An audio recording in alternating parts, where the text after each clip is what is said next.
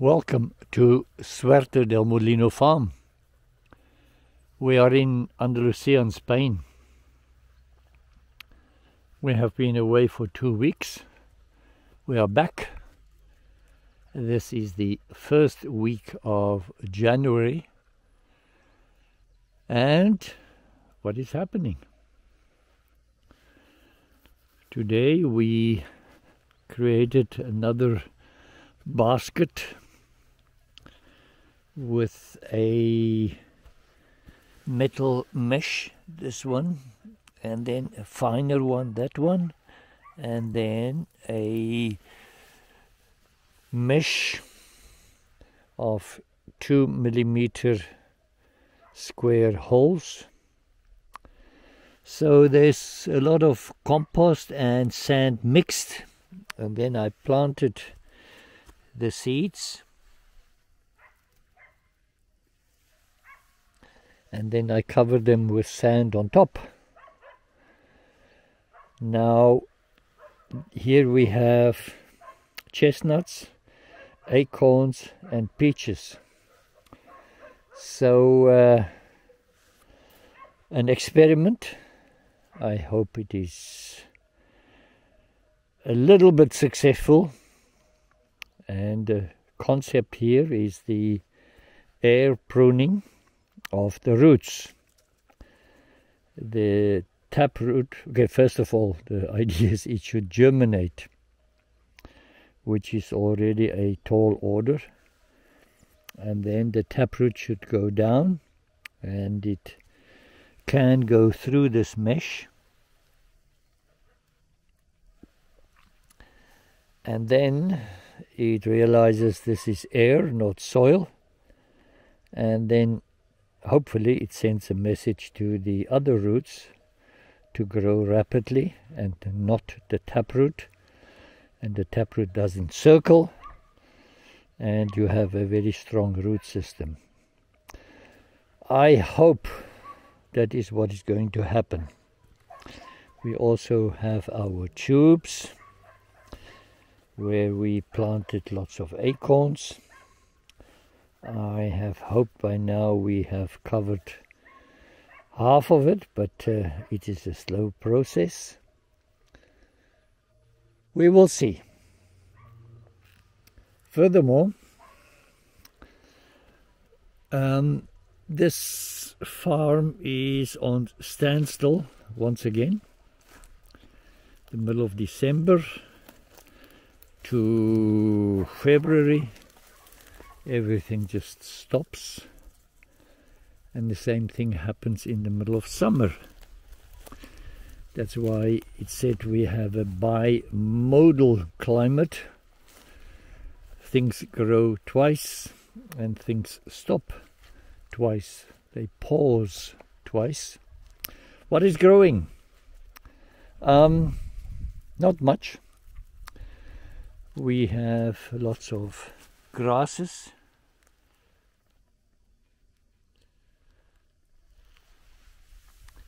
the real weeds, so called. Um, they only start growing when the earth is warmer. And they are the ones that grow meter, meter and a half high, three to five feet.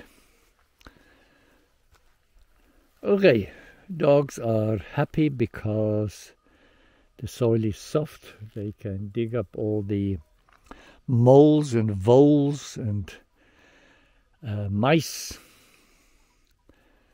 It's regularly one comes with a trophy. I've never seen them eating it as such. It's more carried and paraded in front of the others.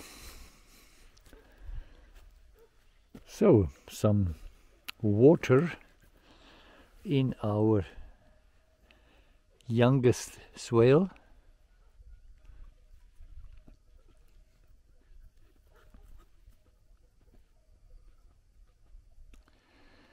Um, it is not really an indication that we had a lot of rain. It's an indication that we have a lot of clay. Anyway, our peach trees are planted. There's nothing planted on the berm except these trees. I will not do it as in the past where I try to get in seeds as soon as possible because it just doesn't work. I'll wait for warmer weather and then plant. Issue is uh, when that appears, the warmer weather, it's usually also the end of our rainy season. So far we have had 300 millimeters of rain, 300 liters per square meter since September, which is half of last year. Um, it is still 200 millimeters away from subsistence level just to maintain what we have. I'm not talking about even uh, infiltration. Um, the water did not even fill all the swales. So uh, we are short. Let's see how it unfolds. Pond is low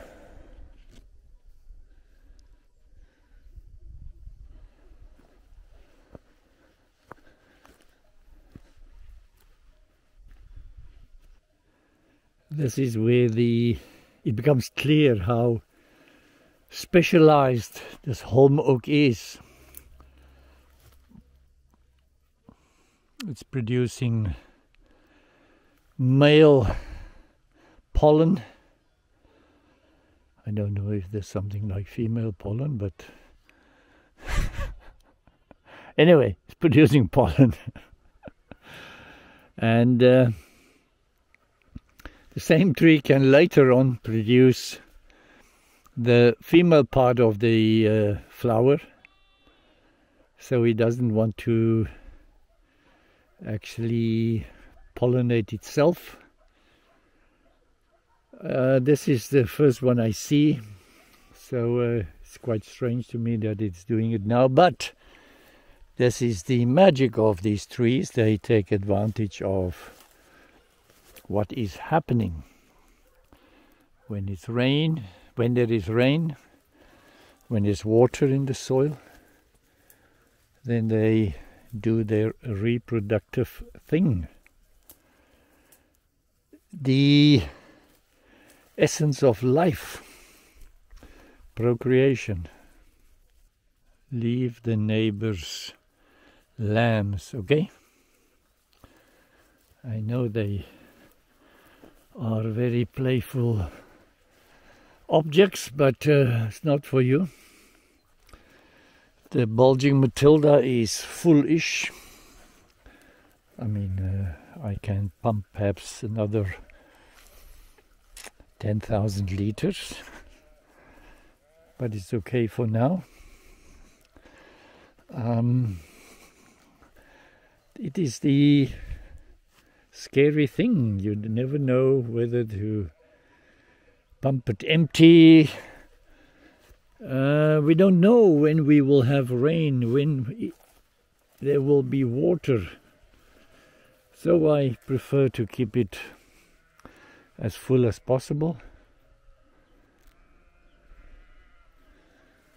Okay, fallen tree.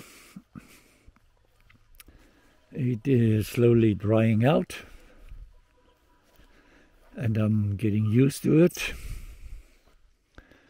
that it's like this. Once again the only thing that is visibly growing is the holm oak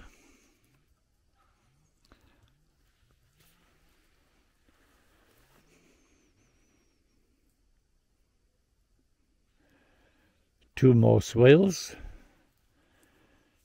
freshly dug and we planted some peaches and once again nothing on the berm because we have learned to wait. It's not my thing in life, but uh, sometimes I have to learn something. Our crossover bridge built last summer, not really tested ever. I thought I will see what is really happening and then finish all these parts. But it was not possible to see. Okay, this is the water. It is still seeping. Still little waves on our daily feedback about the creek flow. What is this, day 53? Uh, in this 53 days, about 10 days, there was no water. But when you dig under the sand, it was moist and at places some water. So let's, for the argument's sake, say this is 53 days of having water, which is quite a feat. The side not much.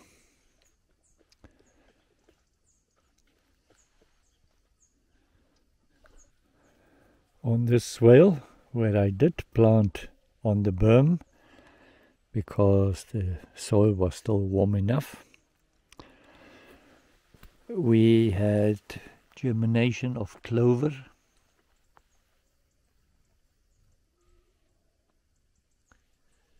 And of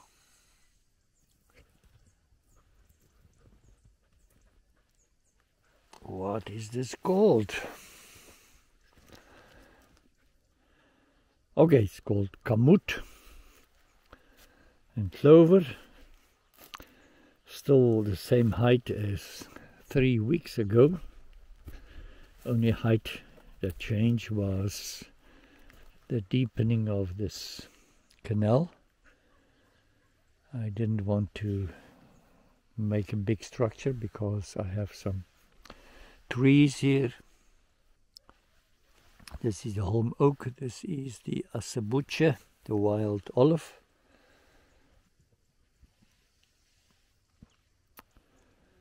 So, not much growing or dying, except these amazing oaks. I hope to have more of them growing. Till next time, goodbye.